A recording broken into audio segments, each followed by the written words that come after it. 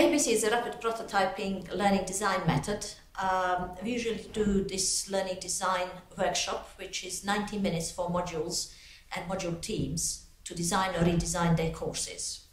And it's a paper-based method, so we use uh, sheets of paper, cards, which represent the learning activities of the students. And the important thing is we do it as teams, so the, um, the, the module uh, team gets together, uh, led by the module leader, and they all kind of work together on and designing this particular uh, course or, or module.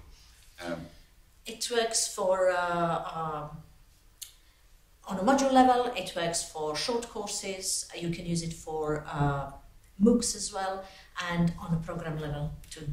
And the, mo the most important thing is we get this really great conversation about the kind of nature of the course, the nature of the learner's experience, what they do first, what they do next, a combination of activities. Uh, and we could all agree together as a, as a, as a whole team about uh, how this course will, will work.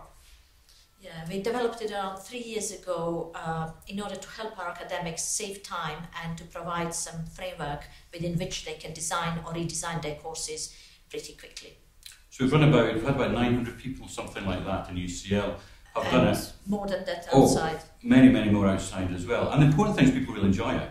Um, uh, learning design is often thought of as quite difficult thing and sometimes a lonely task, but when we do it the way that we do it, in groups, in teams, people actually have a lot of fun and they're very creative and uh, come up with some really, really great designs which will improve the